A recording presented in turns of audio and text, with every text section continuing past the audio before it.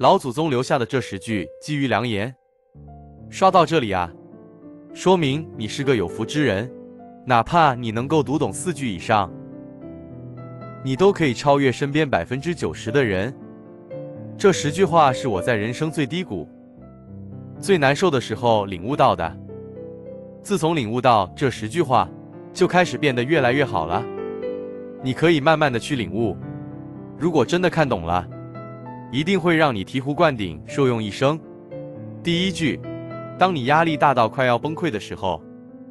千万不要跟任何人去倾诉，不要觉得自己非常的委屈，因为没有人会心疼你，没有人能够帮助你说话，只会让别人看你的笑话。这个时候，你自己只需要安静下来，做自己该做的事，干自己该做的活，把心态放平了，在你崩溃之前继续前行，这样你才能成为一个狠人。第二句，不要随便让自己乱发脾气，不但解决不了问题，反而还会伤人害己。当你想发脾气的时候，一个眼神就足够了。与人相处，但凡让你感觉很累的关系，就直接结束，别再消耗自己的时间和精力了。就算你说的是对的，也不要去证明别人是错的。永远记住。位置不同不必争辩，三观不合就少费唇舌，少说话多做事。两年学说话，一生都是在学比罪。无论你跟谁发生了冲突，记住两到三句话，点到为止即可。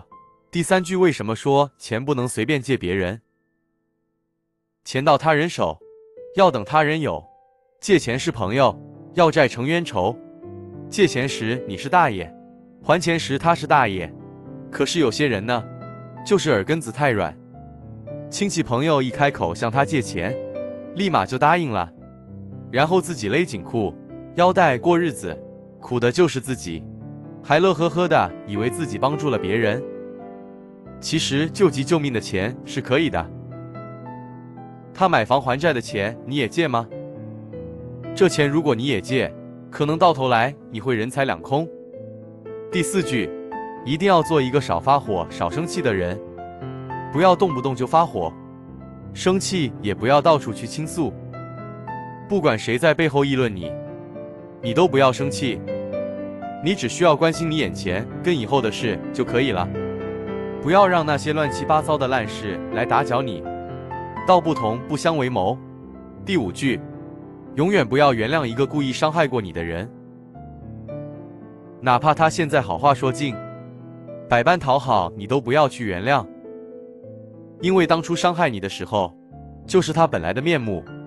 第六句，老鼠从不认为自己吃的东西是偷来的，苍蝇也不觉得自己脏，蝙蝠也不觉得自己有毒。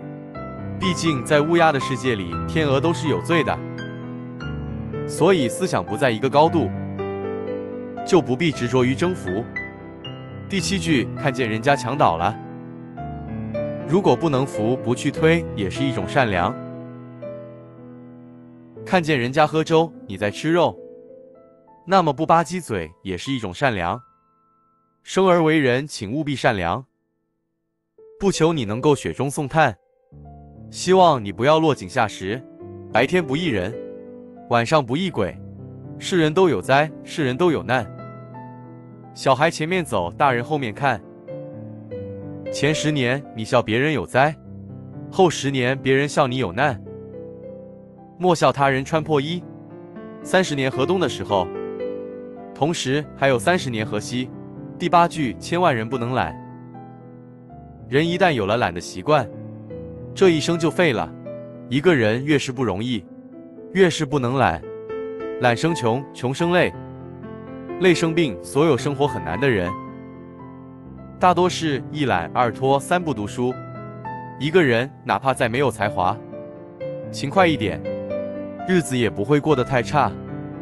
那些每天过得浑浑噩噩的人，哪个不是懒人？眼高手低，心安理得的。记住，你现在拼了命的玩，以后你一定会拼了命的拼。少壮不努力。老大徒伤悲。第九句，当一个人忽略你时，不要伤心。每个人都有自己的生活，谁都不可能一直陪你。世界上最尴尬的事情，莫过于高估了自己在别人心中的地位。你不理我时，我不打扰你；你冷落我时，我也会慢慢的冷落你。你珍惜我时，我会十倍的对你好。你不在意我，那就让一切归零。任何关系，只要你想陌生，我绝不多看你一眼。第十句，记住，一定不要跟任何人走得太近，因为你根本不知道什么时候，你们之间就会反目成仇。成年人最幼稚的行为就是交心。你能说出多少秘密，就有多少危险在等着你。记住，能够置你于死地的，往往都是最了解你的。因为不了解而在一起，因为了解而分开。所以逢人只说三分话，